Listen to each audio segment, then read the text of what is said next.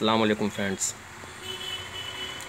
दोस्तों, आज जो हम वीडियो बना रहे हैं, वो अम्ब्रेला मशीन के ऊपर बना रहे हैं कि अम्ब्रेला मशीन जब आप ख़रीदें तो उस अम्ब्रेला मशीन में किस तरह के पार्ट्स लगे हों, जिससे आपकी मशीन की लाइफ ज़्यादा होगी। अम्ब्रेला मशीन बहुत नाम से आती है और एक से एक क्वालिटी की आती है। तो उसमें आप नाम में ना परेशान हो। जो भी मशीन मिले, अच्छी क्वालिटी की, उसको आप ख़रीद सकते हैं। उसी के ऊपर हम लोग ये वीडियो बना रहे हैं। कि आपको एक कोशिश किया जाएगा दिखाने की, बताने की कि अम्ब्रेला मशीन में अच्छी मशीनें किस तरह की आती हैं।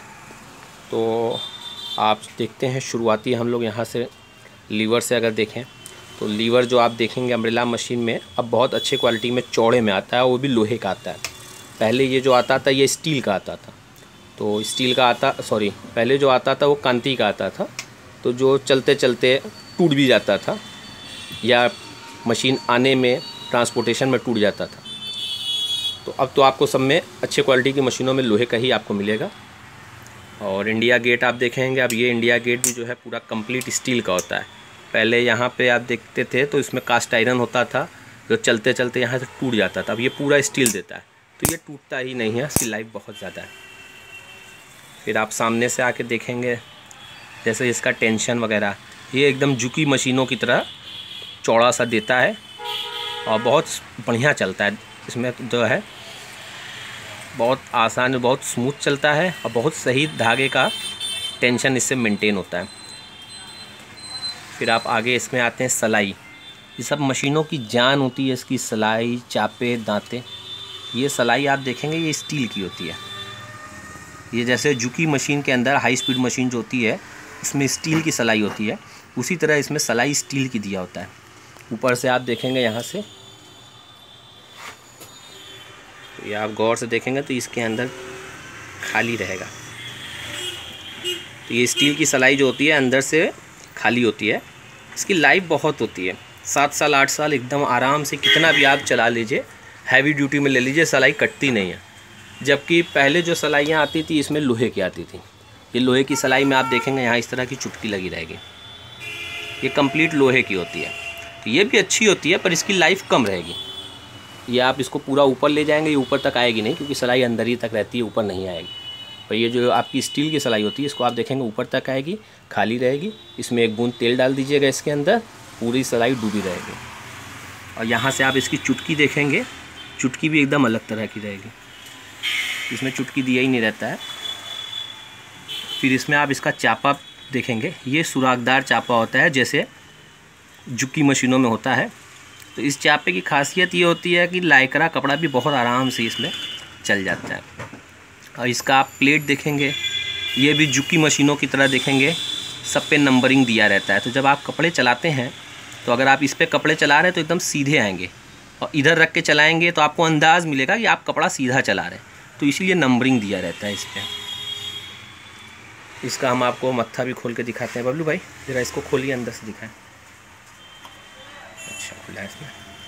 तो अंदर से आप इसका देखेंगे बुश वगैरह भी सब हाई टेम्पर्ड दिया होता है। ये इस टाइप का बना रहता है यहाँ पे थोड़ा जगह कि आप इसमें तेल भर देंगे तो इसके सुराख में से सलाई के अंदर तेल जाता रहेगा। तो सलाई में हमेशा लुब्रिकेशन रहेगा, कटेगा नहीं आपकी। और इसमें तेल हमेशा भरा रहता है तो वो धीरे धीरे लेता रहता है। दिन भर में एक बार, दो बार तेल डाल दीजिए खाली। ये सब हाई टेम्पर्ड होते हैं इसके बुश वगैरह। फिर आप पीछे से भी मशीन को देखेंगे अगर। तो पीछे भी आपको देखेंगे, यहाँ से स्प्रिंग वगैरह लगा रहता है। तो ये स्प्रिंग फ़ायदा ये रहता है ना कि जब आप घुटना ऐसे पैर से उठाते हैं तो चापा ऊपर नीचे जो होता है ना तो काफ़ी स्मूथ होता है इसकी वजह से।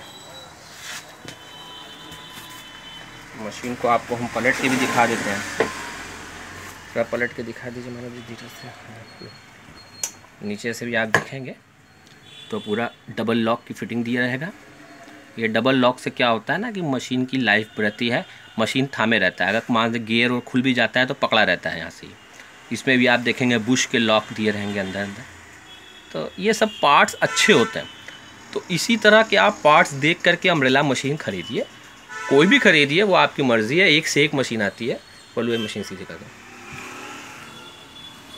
बेहतरीन से बेहतरीन मशीनें आपको मिल जाएँगी।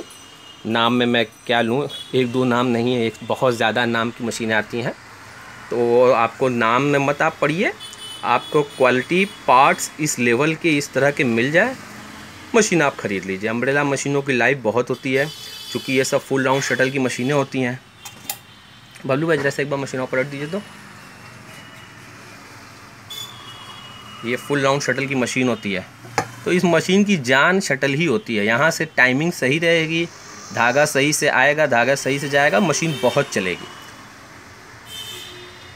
बाकी उसके अंदर जितने हमने पार्ट्स बताए, वो सब अच्छे पार्ट्स लगे हैं तो उससे उसकी और लाइफ बढ़ जाती है।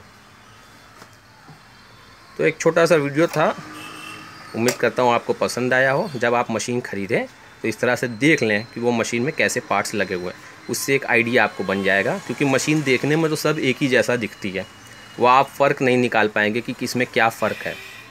वो जो चीज़ मैं दिखाया हूँ, वो चीज़ आप देखेंगे तो आपको फ़र्क समझ में आएगा कि मशीन अच्छी क्वालिटी की है या मीडियम क्वालिटी की है। वो उसके पार्ट्स बोलते हैं, नाम में कुछ नहीं रखा है, पार्ट्स खुद बताएँगे आपको। तो ओके दोस्तों, मैं फिर वीडियो कंप्लीट कर रहा हूँ। शुक्रिया।